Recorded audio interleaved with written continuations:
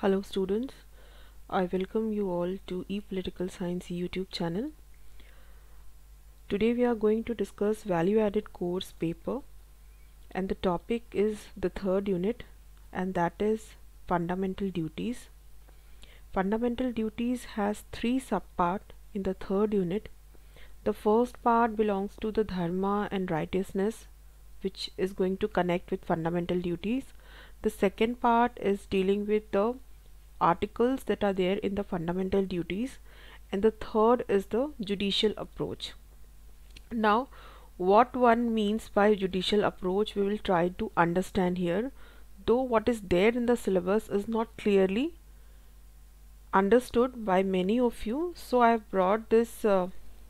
uh, video series so that you can understand how we can connect this idea of judicial approach in the fundamental duties so this paper is value added course and the name of the paper is constitutional values and fundamental duties. Since we don't have any um, question bank of the previous one and this has been introduced in the NEP course so it is very important that we understand that what sort of questions can be asked and how we can write a good answer in this paper and in this particular unit so let us try to understand what exactly fundamental duties uh, covers and uh, which are the areas in our Indian constitution and the part and the articles uh, as far as amendment is concerned which is con uh, which is there dealing with the fundamental duties. So fundamental duties as you can see um, in the PPT fundamental duties mentioned in article 51a are in consonance with Article 29 clause 1 of the UDHR. UDHR here means Universal Declaration of Human Rights. ये हम सार्वभौमिक जो मानव अधिकार का सार्वभौमिक घोषणा पत्र है it came in the year 1948 so uh, this UDHR argues everyone has duties to the community in which alone the free and full development of his personality is possible. Hindi में अगर हम इसे देखें तो अनुच्छेद 51 ए में उल्लेखित मौलिक कर्तव्य यूडीएचआर के अनुच्छेद 29 क्लॉज वन के अनुरूप हैं, जो तर्क देता है कि हर किसी का उस समुदाय के प्रति कर्तव्य है, जिसमें अकेले उसके व्यक्तित्व का स्वतंत्र और पूर्ण विकास संभव है। Now, then we move on to the other part. Since there is no provision in the constitution for direct enforcement of the fundamental duties, but as you can underline or you can just note it down, as Justice Venkataramaya points that there is no provision declaring them non-justiciable. This line is very important. We will come to the explanation of that. First, let us see the translation of in, uh, English. मौलिक कर्तव्यों के प्रत्यक्ष प्रवर्तन के लिए संविधान में कोई प्रावधान नहीं है। लेकिन जैसा कि न्यायमूर्ति वेंकट रमैया बताते हैं कि उन्हें गैर न्यायिक घोषित करने का भी कोई प्रावधान नहीं है। अब यहाँ पे हमें ये समझना बहुत ज़रूरी है कि कुछ ऐसी कमिटीज़ थी, कुछ लोगों ने फंडामेंटल ड्यूटीज़ के जो लीगल पार्ट है, उस पर काफ़ी जो है डिबेट किया है और अपने जो भी उनके व्यू पॉइंट से वो लेके आए हैं। तो उसमें ये जस्टिस वेंकट रमैया ये कहते हैं कि ऐसा नहीं है कि फंडामेंटल ड्यूटीज़ जो हैं, वो नॉन जस्टिसेबल हैं। क्योंकि वो फंडामेंटल ड्यूटीज़ को कुछ हद तक जस्टिसेबल मानते हैं। अगर हम उसके इंटरप्रटेशंस को देखते हैं फॉर एग्जांपल आर्टिकल 14 देखते हैं 19 देखते हैं 21 देखते हैं, उनमें जो भी संदर्भ है, वो कहीं ना कहीं फंडामेंटल ड्यूटीज़ से कनेक्टेड है। अगर हम आगे देखें next let us try to connect the whole idea of fundamental duties with Gandhian ideology what Gandhi try to argue and how his argument uh, has led to the real enforcement of fundamental duties that is also very important now every uh, gandhi gandhi ji uh, says that every right is followed by a corresponding duty and he has supported this idea हर अधिकार के बाद एक कर्तव्य होता है और गांधी जी ने इस विचार का समर्थन किया था। He also said that if we all discharge our duties rights will not be far to seek उन्होंने यह भी कहा कि यदि हम सब अपने कर्तव्यों का पालन करें तो अधिकारों की तलाश दूर नहीं होगी।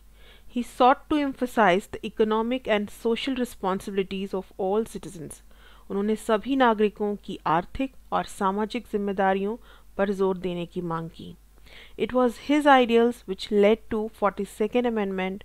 and addition of this part this part here means part four A and article fifty one A that is fundamental duty यह उनका आदर्श था, जिसके कारण फोर्टी सेकेंडवा संशोधन और इस भाग को जोड़ा गया।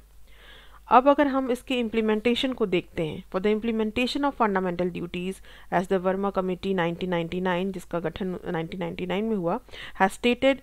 certain legal provisions which though it is not clearly there in fundamental duties but it exist so what are those and they are many others also so I will give you few references which you want for any minute details you can refer let us see the first one prevention of insult to national honour act nineteen seventy one मौलिक कर्तव्यों के क्रियान्वयन के लिए वर्मा समिति ने कहा कि कानूनी प्रावधान मौजूद इस तरह से हैं, जैसे पहला, राष्ट्रीय सम्मान अपमान निवारण अधिनियम 1971 अनलॉफुल एक्टिविटीज़ प्रिवेंशन एक्ट 1967 गैर कानूनी गतिविधियाँ रोकथाम अधिनियम 1967 जिसे हम अगर आप इसको शॉर्ट में लिखना चाहते हैं तो कैपिटल में यू ए पी ए लिख सकते हैं। थर्डली अनटचेबिलिटी ऑफेंसेस एक्ट 1955 अस्पृश्यता अपराध अधिनियम 1955 चौथा 138 supreme court cases in the area of environmental protection पर्यावरण संरक्षण के क्षेत्र में सर्वोच्च न्यायालय ने ने 138 मामले दिए और इन्वायरमेंटल प्रोटेक्शन से for example M C Mehta का केस काफ़ी फ़ेमस भी है और इसके अलावा भी बहुत सारे पर्यावरण संरक्षण पर,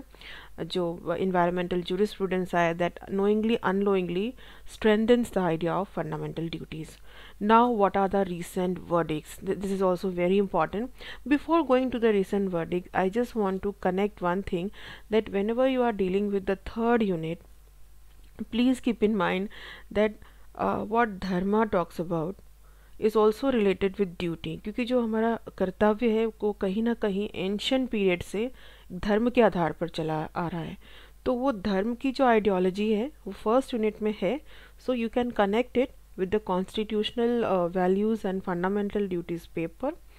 uh, for the uh, third unit first subpart okay now the recent verdict the supreme court's ranganath mishra judgment 2003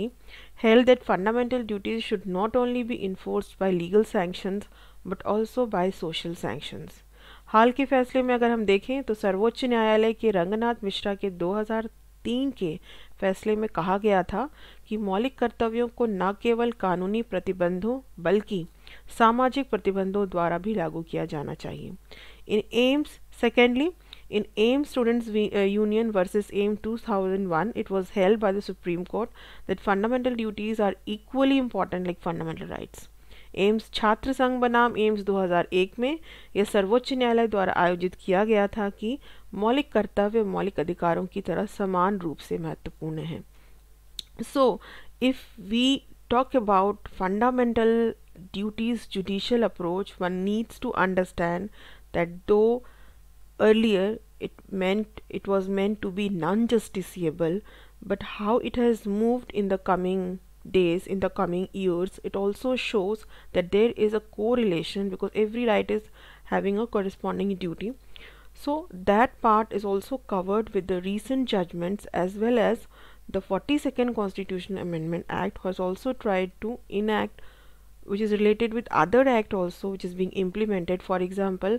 the recent fundamental duty which has been added is right to education act. पहले इसमें 51 ए से ए से जे तक था। अब ए से के हो गया, अब ग्यारह ग्यारह इसमें फंडामेंटल ड्यूटीज़ हैं। तो राइट टू एजुकेशन एक्ट की बात भी आप कर सकते हो। तो बहुत सारे ऐसे मौलिक कर्तव्य हैं जो रिसेंटली